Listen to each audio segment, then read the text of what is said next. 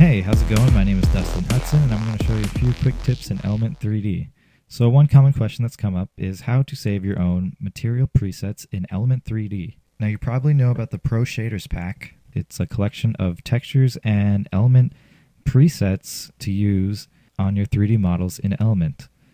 Now, what if you want to create your own? Well, I'll show you how to do that. So, if you go to the Material and Bevel browser, you can right click and make a new material. Now, there's one other way to make a material, which usually comes up a bit more often than actually right clicking. So you can right click on this and just delete that for now. You can go to the primitives folder under models in the model browser.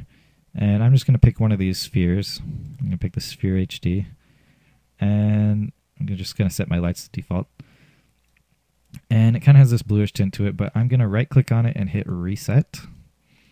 Now I'm just going to open up a folder real quick and I'm going to go to Documents, Video Copilot, and then Materials. And I have saved out this folder that has just a concrete texture that I got off the web and I cropped it to 2048 by 2048. It's just 2K quality. I also have a normal and an occlusion map and a specular. Now, the normal map, occlusion map, and specular map were made in a program called Crazy Bump. Now, I'm not going to go over that today, but it's a really cool program. If you haven't heard of it, I would recommend checking it out. So I'm just going to take this diffuse, which is the color, and I'm going to drag it. I have my material selected. I'm going to take it and drag it right onto the diffuse. I'm going to take the specular and drop it right in the specular. And I'm going to take the normal and drop it right in the normal bump slot.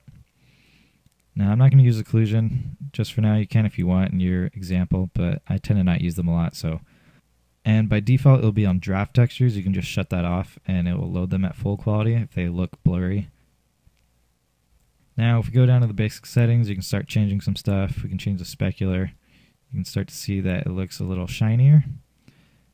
And if we increase the shininess, we can increase the radius that the specular shows up at. And if we change the specular, that changes the intensity of the spec. You can play around with that. You can change the default lights to one of these presets. Dramatic one's cool. Um, you can play with the brightness as well.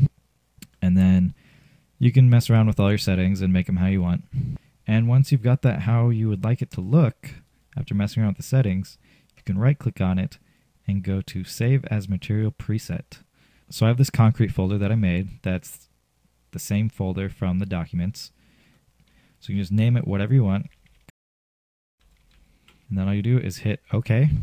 So it has now saved the material preset at your documents, and this is it right here.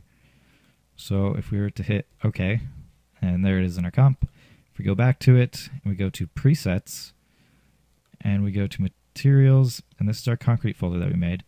So if we were to reset everything right now, reset all button, that just resets the whole element window we can pick a new model and we can go to our presets folder and our concrete materials right here. And you can right click and hit either add to selected model or add to scene. I'm going to do add to scene.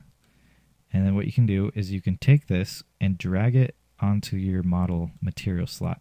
It looks a bit stretched right now. I would go to the texture mapping options. When you click on the object, a few of these options come up.